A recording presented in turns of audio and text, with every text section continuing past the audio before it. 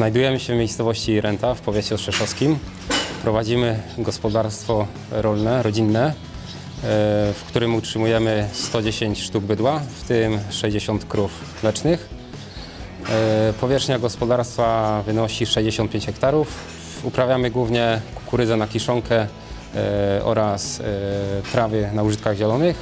Resztę stanowią zboża. Wszystko wy- wykorzystujemy jako paszę dla bydła.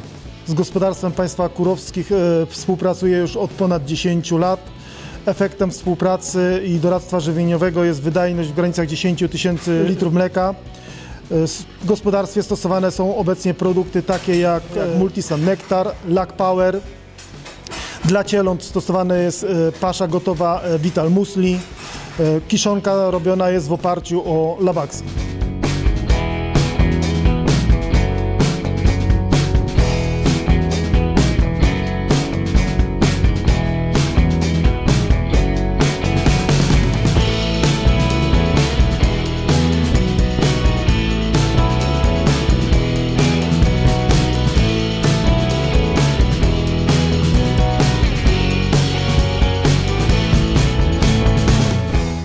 Naszym gospodarstwie e, używamy wozu paszowego e, Sano 12 metrów sześciennych, e, który został zakupiony w 2008 roku.